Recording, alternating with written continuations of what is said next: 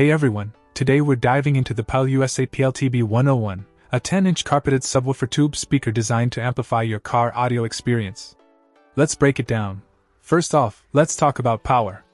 With a max output of 500 watts, this subwoofer doesn't hold back. Whether you're cruising down the highway or parked at a gathering, you can crank up your favorite tunes with confidence.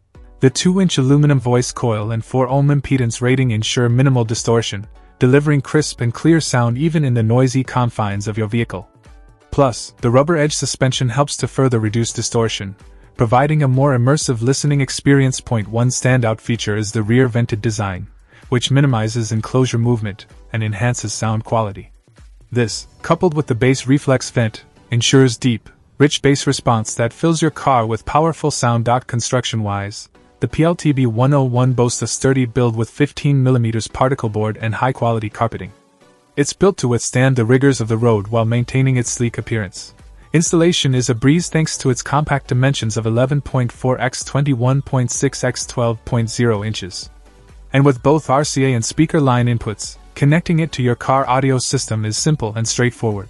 Overall, the Pyle USA PLTB 101 delivers impressive bass performance that enhances any car audio setup.